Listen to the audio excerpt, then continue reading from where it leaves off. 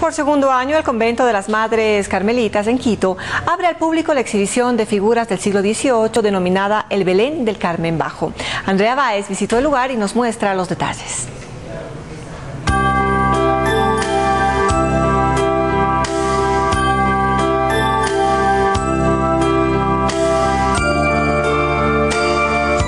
El culto a los belenes es uno de los legados de tiempos coloniales. Casas particulares, en los conventos y comunidades religiosas, se esmeraban por hacer el nacimiento. Y muestra de esta tradición religiosa y cultural es el Belén del Carmen Bajo, que por más de 200 años pasó resguardado por las Madres Carmelitas. Raquel es una de ellas. Esa decisión nació de la comunidad de querer participar pues a todos los ciudadanos de todo el arte que posee la comunidad, de lo que han ido reuniendo nuestras hermanas antiguas, ellas fueron las que lo fueron armando. Son más de 500 piezas que componen el Belén carmelino.